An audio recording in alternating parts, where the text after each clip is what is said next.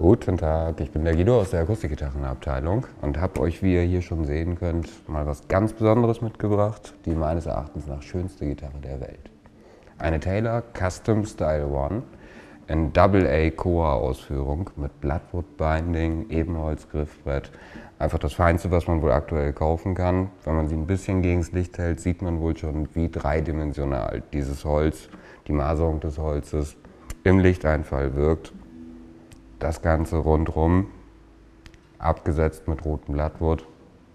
Schöner kann ein Musikinstrument wohl kaum werden. Wie ihr auf dem Innenlabel sehen könnt, ist diese Gitarre mit der Seriennummer 83 versehen.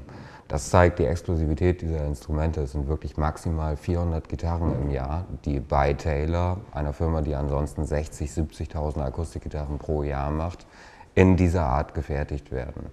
Es ist eine Custom-Fertigung, das heißt, es ist jede mögliche Holzkombination, jedes Binding, alles veränderbar. Man kann sich seine individuelle Gitarre bei Taylor machen lassen mit der dementsprechenden Wartezeit. Wir haben für euch aber immer eine gute Auswahl verschiedener Instrumente dieser exklusiven Baureihe vorrätig. Ich spiele noch was.